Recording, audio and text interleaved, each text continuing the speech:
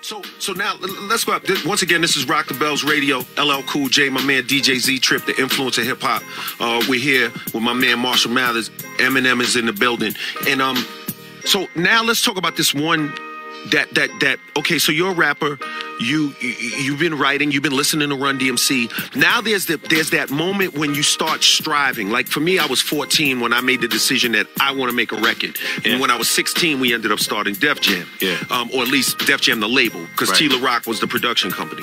Um, my thing is, what happens from when you're like a little boy running around a room rapping along to a kid writing his rhymes, like you talked about, Sink the Battleship, to okay, now we're going from that point to becoming a semi-pro on the scene. You know what I mean? Like a professional amateur on the scene. I'm talking about before the label, before all of that stuff. Yeah. Tell me about that stretch. Well, I did a lot of rapping in the basement, and I, uh, I think it was like I had to get to a certain level before I would let anyone even hear my raps. Level of what I'm excellence and yeah, skills. Like, and when I started realizing that some of the stuff that I was writing was maybe not as good, but almost as good as certain rappers. You know what I'm saying? Like it gave me the hope that maybe I could do it. And when compound syllable came into into play, mm-hmm. you know, and I started hearing you do it and G Rap do it and Kane do it, I was just like, holy shit, they're not just rhyming the last word. Mm-hmm. You know what I'm saying? Like mm-hmm. they're rhyming every syllable of that word. Like and then when I started doing that, I just I, I was everywhere, man. I went to open mics. I, I, I, you know, Proof took me to a lot of places, um, introduced me to a lot of a lot of things that he was doing because Proof didn't have a job back then. He just rapped, and he just went. You know, he went everywhere. He was uh, And how just just let me how did you meet Proof? Just how did you meet him? on the steps of Osborn High School. Um, I was handing I was handing him a flyer to a show, to a talent show. Oh wow. And he was like, "You rap?" And I'm like, "Yeah, I rap." He's like, "Why don't you say something?" I'm like, "Okay." So I do a rhyme, and then I've told this story before, but he rhymed birthday in first place, birthday first place, and I rhymed birthday first place in the same rap. I said my rap, then he did his, and he rhymed the same. I was like, "Yo, I, under, we understood compound syllable rhyming." so we're like, so ever since then, like, like it was a talent show that I was doing at a at another high school. I can't remember the name of the high school, and he showed up there. And I was like, holy shit, he showed up. Okay, cool. Yeah. And then we just hit it off from that day, man, and just ran everywhere together pretty much. But but proof like towards our early 20s, proof was in every spot there was. Mm-hmm. You know, and I didn't really I had a job, so I couldn't do everything that I wanted to do. Mm-hmm. So proof kind of took off. He he started like man, his buzz around the city was incredible. And one day he calls me and I'm living upstairs in the attic of Kim's mom's house, right? Mm-hmm. Me and Kim are staying up there. It's not really a, it's an attic, but we turn it into a bedroom, and mm-hmm. things aren't looking so good. And I had stopped writing for a while, and I will never forget. He called me. He was like, I hadn't talked to him in like four months. Mm-hmm. And he was like, "Yo, I've been doing this and this and this. You need to come up to the hip hop shop." And I'm like, The "Okay, hip hop shop. yeah." I love that. which is was opened up by Maurice Malone, right? Okay, Paul. Yeah.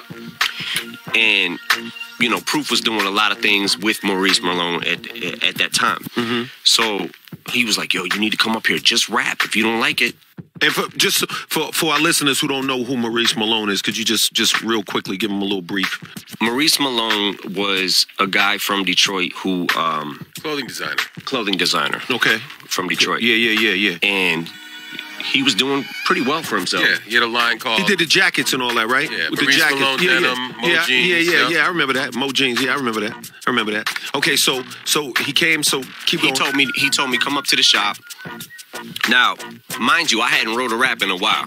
He was like, "Yo, come up to the shop on Saturday." I think it was it was either the next day or like the uh, uh, whatever it was. I had a day to write the rhyme and try to memorize it. So basically, what he did when I got there, he was like, uh, he he had he he waited to the to the place cleared out because they had open mic every Saturday. I had never been to it, and he was like, "Yo, I'll just you know after everybody clears out, come up here at like six o'clock or whatever it was."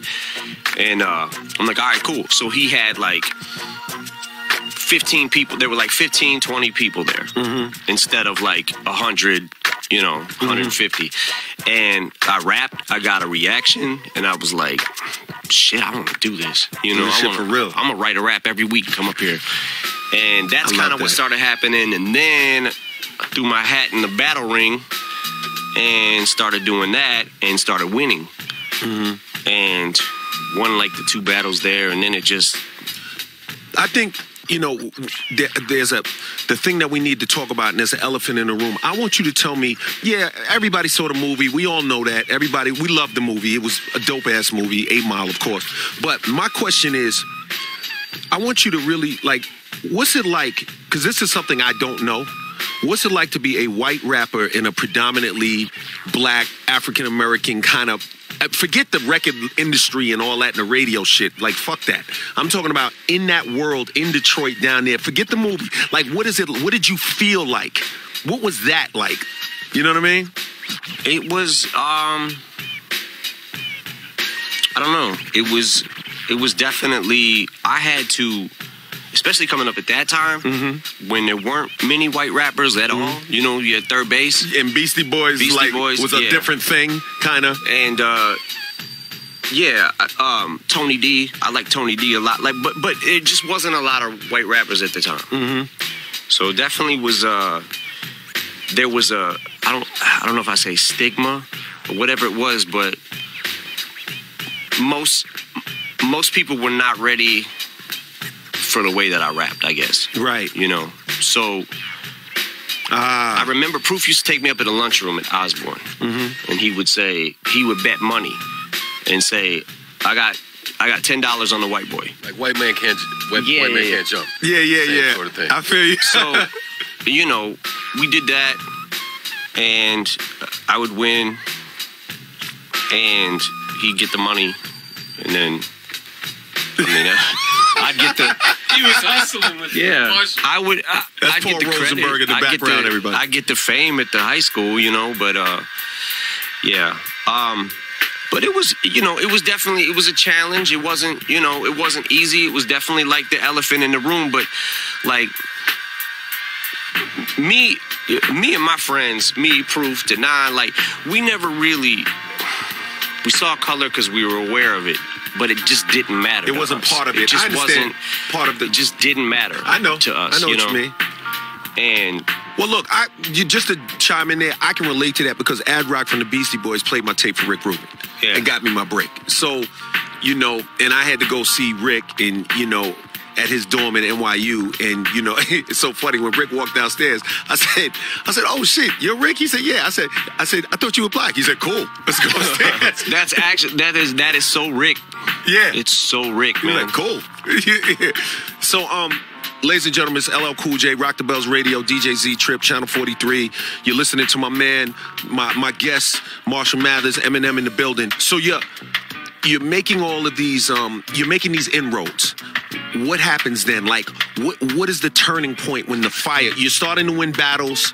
The battles are getting bigger. We saw the film.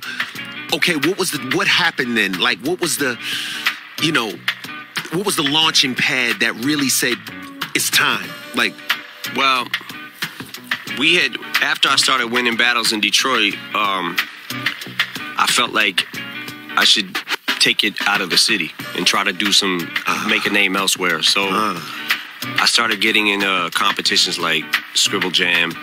Uh, me and Mr. Porter went to 97 Freaknik um, just to hand out tapes because Infinite didn't do well at all. So my first album, Infinite, like we were just we had leftover cassettes, so we're like, fuck it, let's go to let's go to uh, Freaknik and just hand them out. So we did that. Then we went to How Can I Be Down, and then um, at some point, I can't exactly remember how this happened. I think I was like, I went to the Athene- Athenaeum Hotel because Bizarre from D12 told me about this chick named Wendy Day. Mm-hmm. And he was like, yo, you need to uh, give your tape to Wendy. Tape. Fucking tape. Yeah, tape. Yeah. Yeah, So yeah. You didn't email. You weren't shooting out an email. Yeah, Right, it was right, a right. tape. Yeah. So me and Bizarre and Mr. Porter would wait outside of the hotel where Fat Joe was at. You know what I'm saying? Like, I love that. yeah, like, and just you know, any any anywhere we thought rappers were, we brought a boombox with us. You sound like me. Box. you sound like me. Yeah. Yeah. So we're sitting in the front of the hotel. I actually got a funny Fat uh, Fat Joe story. So we're sitting in front of the hotel, right? Mm-hmm. And me and me and Biz got the boombox, and we're playing our demos, right? Hoping that some uh, rapper's gonna walk by and go, "Yo, what is that? I'm signing you." so I Love it. so, Fat Joe pulls up in a limo, and this is when the whole East Coast West Coast thing had really started popping off. Right, Right. The shit was getting hot. Um, so we're sitting on the on the wall where the to right before the entrance of the hotel. See Fat Joe get out the limo. We're like, Yo, shit, Fat Joe. Somebody yells, West Coast. Fat Joe's like, Fat. Now, mind you, this dude is as big as Fat Joe. And I'll bet you if he hears the story, he'll know what I'm talking about. Somebody gets, somebody says West Coast as he gets out the limo. He's like, East Coast, what? they get up in each other's faces. Like Fat Joe walked right up to the dude. They got in each other's faces. We thought, oh shit. So, and Fat Joe was like, yeah, do something, do something. And nothing happened. Dude didn't do anything. And he's like, yeah, that's what I thought. He's walking away. Fuck you, motherfucker. so, me and Bizarre are like, this might not be a good time. Let's go over to uh let's see where KRS One's staying at. Yo, you're killing me. Yeah, some So funny. yeah. Yeah, this is probably not the right time. Yeah. Joe doesn't seem to be. uh Yeah, he's, Yeah. he's not gonna be in the mood to hear our demo right now. Shout out to my man Fat Joe. We love you, baby.